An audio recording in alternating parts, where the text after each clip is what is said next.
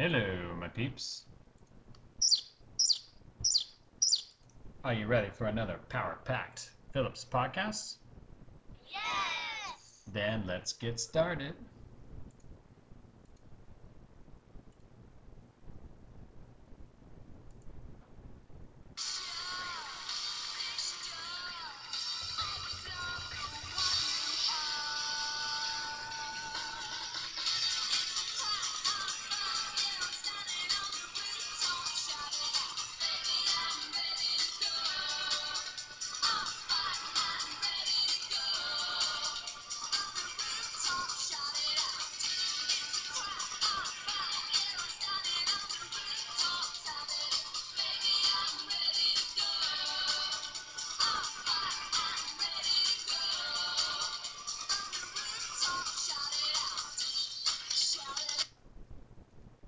Ready to go.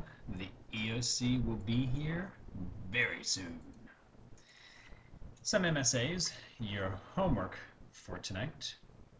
Don't forget your new EOC review packet is due in two weeks, May 6th. You will have an EOC quiz this Friday on factoring. And I am so kind and loving that I did problems 1 through 5 from your new EOC review packet and I posted them in Blackboard. I know the things I do to help you pass the EOC. Alrighty, let's jet to today's lesson.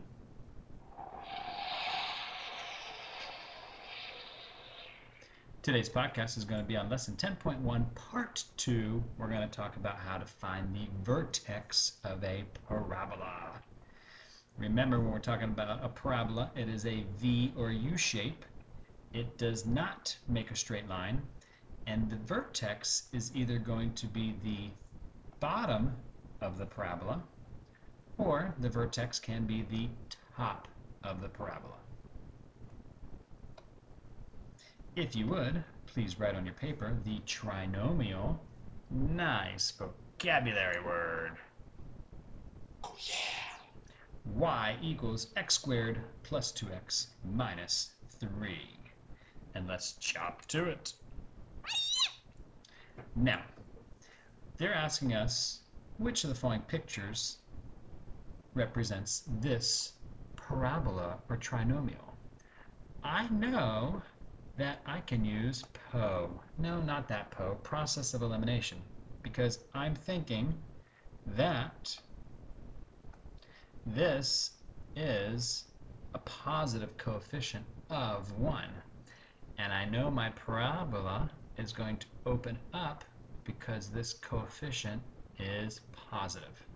So if I use PO, this cannot work because it's going down. This parabola, excuse me, does open up, so maybe this parabola is opening down. It can't be this one. This parabola is opening up, so maybe. I'm down to two choices just by using PO.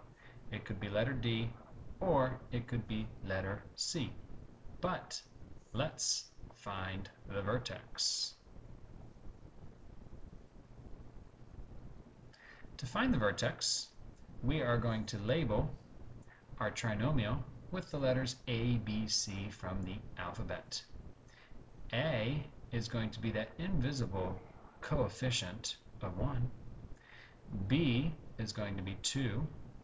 And C is going to be negative 3. So once again, A is going to be that invisible coefficient of 1. B is going to be positive 2. And C is going to be negative 3. Now remember, this formula for the vertex is not on your EOC reference sheet. So you have to remember x equals negative b over 2a.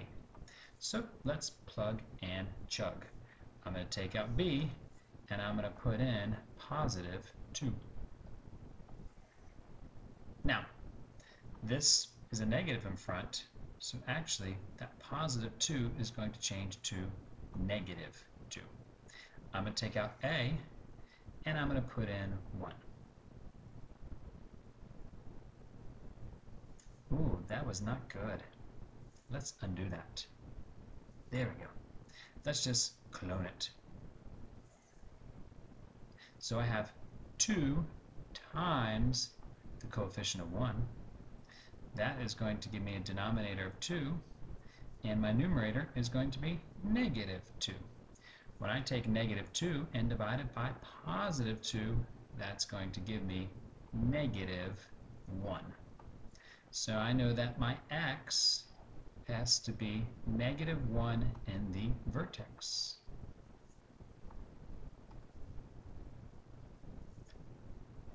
Now, how can we find the y? Well, before we do that, let's take a brain break. You ready for a brain break? Yeah, we'll finish the vertex in a second. Let's do a brain break. Hopefully you've been paying attention so that when it comes to parabolas on the EOC, you can be like this kid.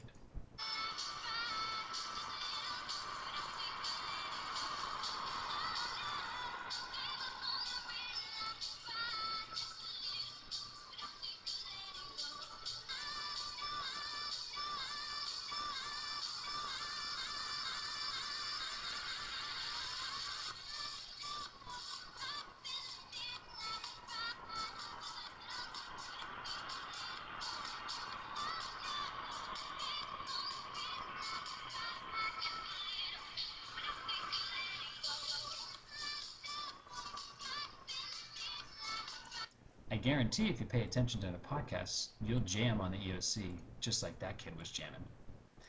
Now, I need to find y. I need to find y. So now that I know x, I can substitute x back into my trinomial.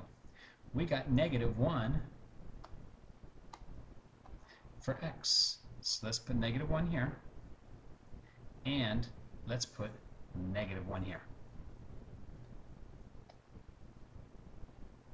And let me pause this so I can give myself some more room. Sorry about that. Now that I have more room to write, I put in negative 1 for x. So this means I'm going to do negative 1 times negative 1. When I do that, I get positive 1.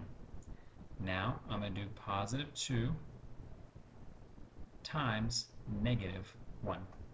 When I do that, I get a negative 2.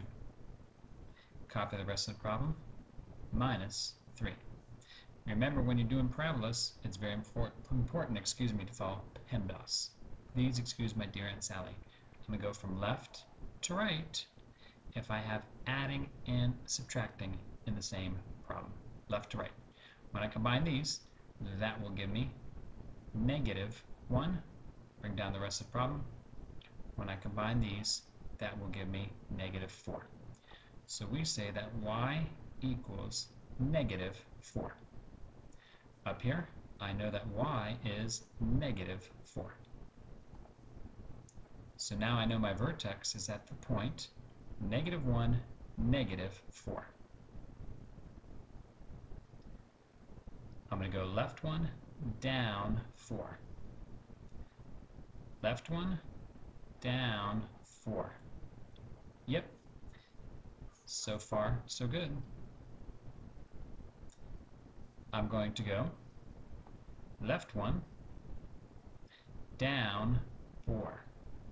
Hmm, my vertex is at a different spot. Can't be this one.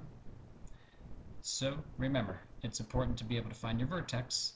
To do that, you do x equals negative b over 2a once you have the number for x, plug and chug, put it into the trinomial or equation to find y. Thanks for watching. Later, alligator. In a while, crocodile.